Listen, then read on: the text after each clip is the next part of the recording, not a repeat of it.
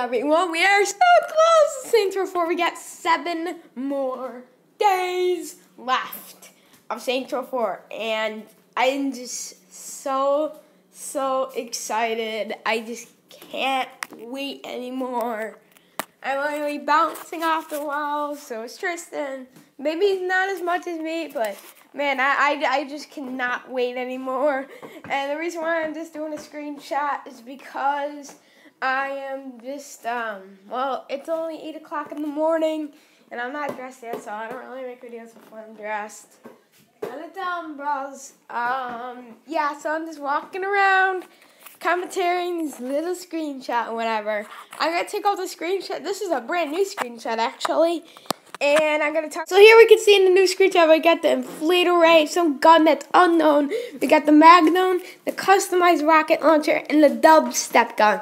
And we can see that the Z10 is gonna be making a return because it's in the picture. And that was my favorite SMG in Saints Row the Third. I'm so glad that's making a return into Saints Row 4. And that's the initial screenshot. I'll be right back. In other news, I got six comment a couple weeks ago on the Harry Potter GTA mod gameplay. Pretty cool, right?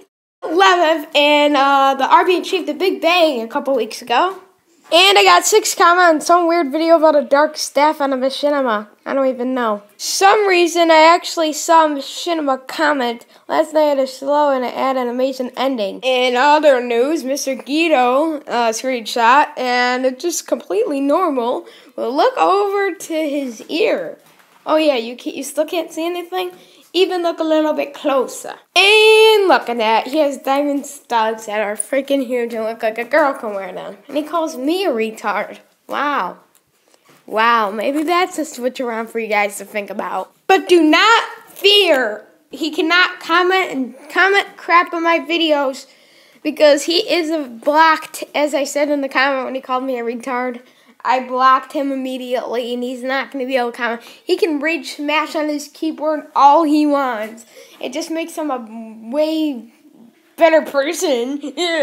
Oh, it doesn't make him a better person, but look at this dramatic ending for Arby and the Chief.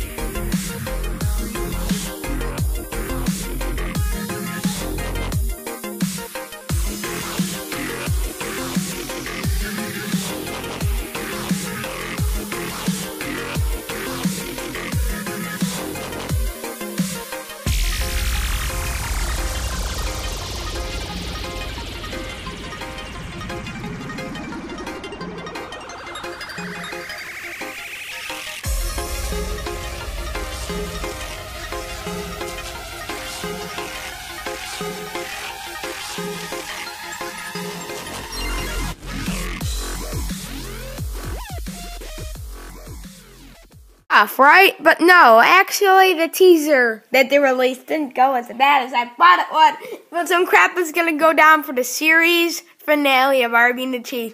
I'll see you guys. This is Fresh signing off.